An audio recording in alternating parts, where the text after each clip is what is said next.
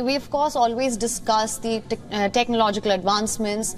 Of course, the promise and peril, that is something that's always a topic of discussion. And this particular piece of news that's come in, that right truly gave me the chills. It's, it's, extremely concerning because children are, we know children now are, of course, heavily dependent on what they see online and they all have access to the internet from all right. these devices. And now, in a shocking revelation, a woman says her eight year old son ordered an AK 47 rifle from the dark web.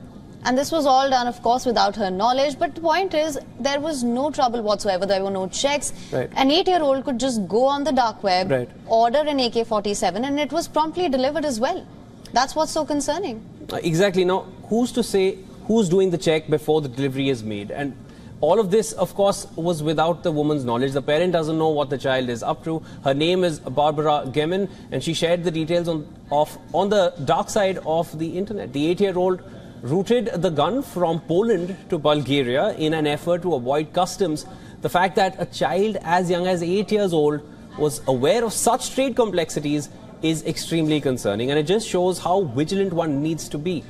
Well, it all began with him ordering a pizza from the dark web. That is where it started from. And from the pizza, eventually it escalated to the level of ordering guns a while Gemen, the mother, immediately reported the incident to the local police, handing over the gun to them no legal action was taken against, against her son.